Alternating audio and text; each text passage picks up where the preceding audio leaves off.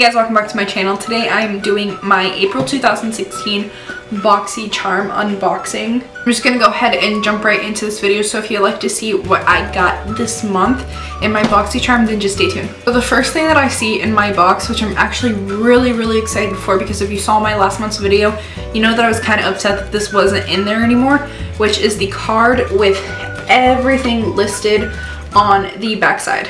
So this month's theme for BoxyCharm is Cloudy with a Chance of Charms. And I'm just gonna go ahead and jump in with the first thing on the card, which is the Purlisse Lip Comfort. And this is a full-size product and is $16. And it says it is a daily lip nourisher with mango and shea butter, hydrates and nourishes, heals and softens. Um, and that it's for all skin types. And I'm actually really excited for this because I don't have chapped lips. I just have really dry lips and I love to find anything that's gonna help my lips stay more moisturized. So I'm really excited for that and I love anything with mango and shea butter in it. So the next product on the list is something that we've gotten before.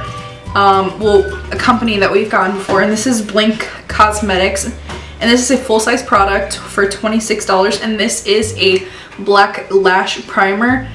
Now I actually really do not like the Blinc mascara um, the one where it just puts like little tubes over your eyelashes and I actually gave it away and I've actually never used a lash primer before so I am kind of curious to try a lash primer. I'm not so curious to use Blinc Cosmetics if it's anything like their mascara is and their mascara was just really too dry for me.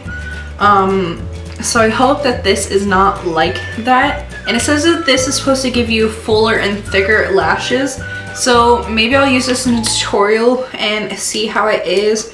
Maybe I'll do like a first impression or something or even a review on it to see how much I like it because like I said I didn't really like the mascara and I gave it away. So the next thing on the list is this Anderson Lily Manhattan Beach Butter Hand Cream and this says that it is a full-size product and retails for $24. I have been using this past couple days and I actually really, really like it. I think this, and this is only using it for a couple days, but I think this is one of my favorite hand creams that I've ever actually tried.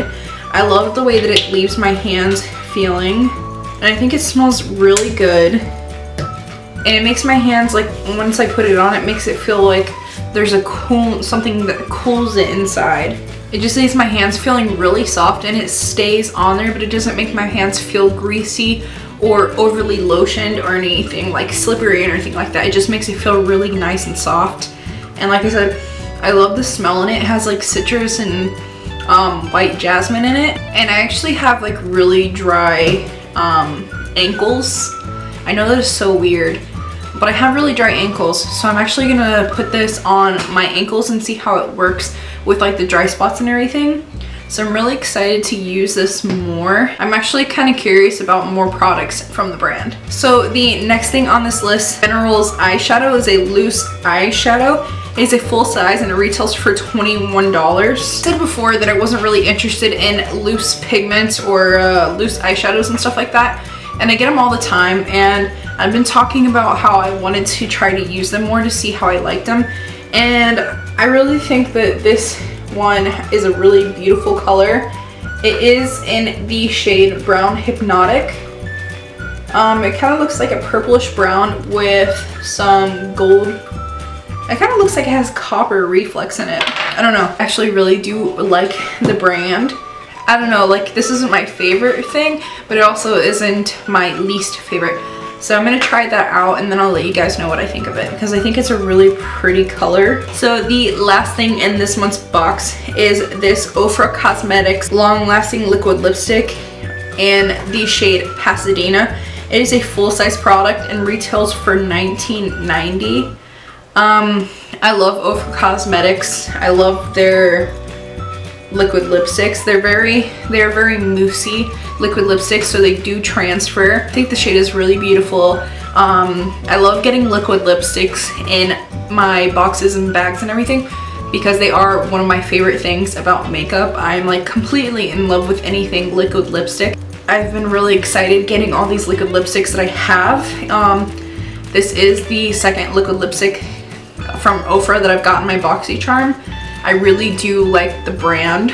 and they are a liquid lipstick that I would recommend because I do have a couple of them besides the ones that I've gotten in BoxyCharm. So that is it. I hope you guys enjoyed this video. If you did, please give me a thumbs up. Let me know what you liked from BoxyCharm. Let me know what you didn't like from BoxyCharm. And yeah, I guess I'll see you guys in my next video. Yeah.